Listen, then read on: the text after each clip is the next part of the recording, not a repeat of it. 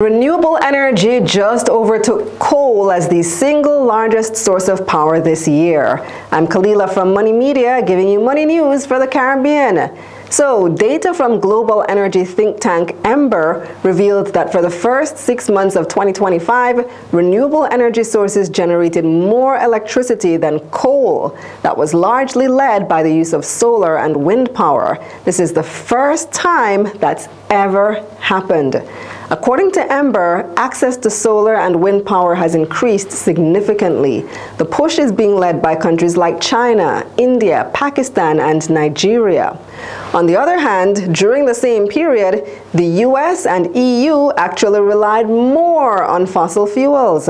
For the US, electricity demand grew faster than clean energy output, which increased the reliance on fossil fuels, while in the EU, months of weak wind and hydropower performance led to a rise in coal and gas generation.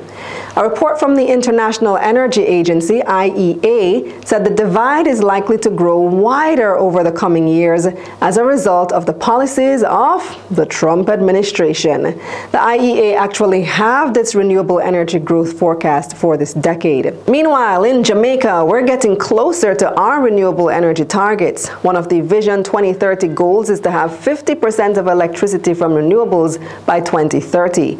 Now, the government says we're on track to achieve that, but I'm still a bit skeptical. 2030 is just five years away, and so far we only have about 12% of our power mix coming from renewables. But to be fair, that is up from the low single digits earlier in the decade.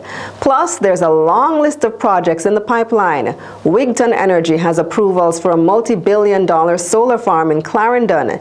Energy Minister Daryl Vaz said another 100 megawatts of renewables are set to come on stream during the current financial year. That would bring the total to 17%. Then another 220 megawatts in 2027-28 will bring the total to 27%. By 2028, he said we'll be at 33%. Then the generation procurement entity will go back to market for another 300 megawatts, and that will bring the country to 50% by 2030. But keep in mind, these projects haven't even gone to market yet, much less started building. So 2030, hmm, I don't know.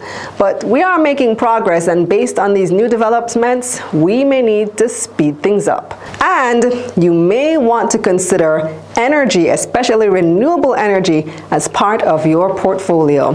And that's the bottom line. So, what do you think? Let me know in the comments. And if you want to know how to invest in energy and other lucrative industries, go to moneymissionja.com for the link to my workbook and all of our courses.